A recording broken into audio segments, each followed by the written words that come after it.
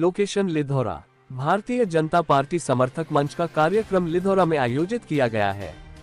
टीकमगढ़ लिधौरा आगामी विधानसभा चुनाव होने वाले हैं और भारतीय जनता पार्टी ने मध्य प्रदेश में विगुल फूंक दिया है, जिसमें आज भारतीय जनता पार्टी के समर्थक मंच मध्य प्रदेश का कार्यक्रम आयोजित किया गया है, जिसमें मुख्य अतिथि के रूप में भाजपा समर्थक मंच के राष्ट्रीय अध्यक्ष पुरुषोत्तम नारायण श्रीवास्तव और विशिष्ट अतिथि के रूप में सुश्री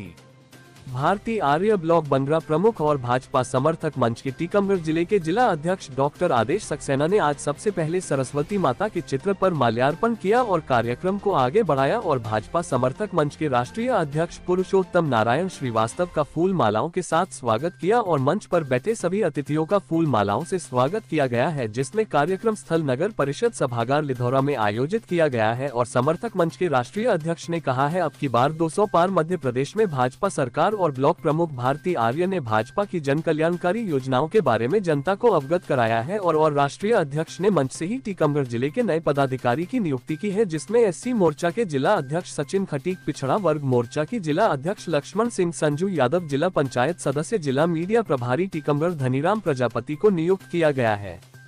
जिसमें मुख्य अतिथि भाजपा समर्थक मंच के राष्ट्रीय अध्यक्ष पुरुषोत्तम नारायण श्रीवास्तव, विशिष्ट अतिथि ब्लॉक प्रमुख भारती आर्य जिलाध्यक्ष डॉक्टर आदेश सक्सेना, जिला अध्यक्ष समर्थक मंच टीकमगढ़, सचिन खटीक एससी मोर्चा के जिलाध्यक्ष समर्थक मंच, पिछड़ा वर्ग मोर्चा के जिला अध्यक्ष लक्ष्मण सिंह, संजू यादव समर्थक मंच, देवी दयाल खड, अशोक खटीक राम प्रसाद साहू, रामेश्वर राजपूत, सौरभ खटीक धनीराम प्रजापति, लक्ष्मण सिंह, संजू यादव जिला पंचायत सदस्य जिंडेल सिंह, ठाकुर हृदेश सेन, अरविंद यादव महेवा कार्यक्रम में भाजपा के सभी कार्यकर्ता उपस्थित रहे हैं।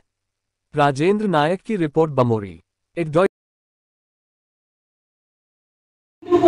डॉ का कार्य कर रही है। और हमारे भाजपा समर्थक मंच के राष्ट्रीय अध्यक्ष जी, जिन्होंने सत्तर प्रदेशों में अपना झंडा गाड़ा है और भाजपा का कार्य किया है। और अभी तक कई प्रदेशों में उन्होंने चुनावी कार्य किए हैं, जिसमें कई प्रत्याशियों को भारतीय जनता पार्टी से जिताया है। जैसे कि भाजपा का लक्ष्य होता है कि प्रत्याशी कोई भी हो पर हमारा प्रत्याशी हमेशा कमल का फूल रहता है कमल के फूल को उसी को क्योंकि हमारे आदरणीय देश के यशस्वी प्रधानमंत्री नरेंद्र मोदी जी और हमारे मध्य प्रदेश के मुख्यमंत्री आदरणीय श्री शिवराज सिंह चौहान जी की विचारधारा, उनके नेतृत्व में काम कार्य कर रहे हैं और हमारा है। आज इस मंच पे जो सम्मानित हैं, उनके